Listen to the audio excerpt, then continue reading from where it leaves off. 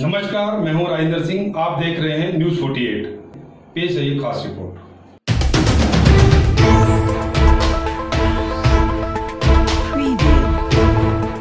द्वारा ओवरलोड वाहनों की धारा पकड़ अभियान लगातार जारी है। प्रत्येक पुलिस अपने अपने थाने क्षेत्र से ओवरलोड वाहनों का काबू, उनके चालकों व मालिक के खिलाफ कार्रवाई कर रही है। नव नियुक्त जिला पुलिस अध्यक्ष नरेंद्र बजरानी द्वारा चार्ज संभालते ही पुलिस सतर्क हो गई है और अभियान के तहत ओवरलोड वाहनों को अंकुश लगाना शुरू कर दिया है। पलवल ट्रैफ़िक टीएसपी विजय पाल ने बताया कि ओवरलोड वाहनों की वजह से दुर्घटना होने का खतरा बनता रहता है। जिला पुलिस अध्यक्ष द्वारा दिए गए निर्देश के अनुसार ओवरलोड वाहनों की धारा पकड़ के लिए अभियान शुरू कर दिया है। अभियान के तहत प्रत्येक थाने क्षेत्र से ओवरलोड वाहनों को काबू किया जा रहा है। पुलिस द्वारा अब तक लगभग सैकड़ों ओवरलोड वाहनों को काबू किया गया है। साथ ही वाहनों के चालक व मालिक के खिलाफ कार्रवाई की जा रही है। उन्होंने बताया कि यह अभियान लगातार जारी रहेगा।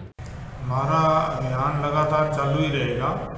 डे बाय डे हम जितने भी ओवरलोड कोई ट्रक मिलता है, तुरंत उसका अरेस्ट करते हैं, उसको राउंड अप करते हैं, चलान करते हैं, मुकदमा दर्ज करते हैं और मालिक के खिलाफ भी 120 बी लगा करके उसको भी अरेस्ट किया जाएगा।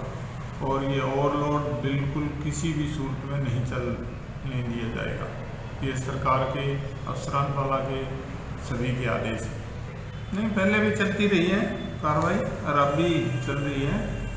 और ये हरियाणा सरकार के आदेश है कि इससे प्रॉपर्टी डैमेज हो रही है ओवरलोड से सड़क खराब होती है तो इसको जो सरकारी प्रॉपर्टी है उसको बिल्कुल खराब नहीं होने दिया जाए।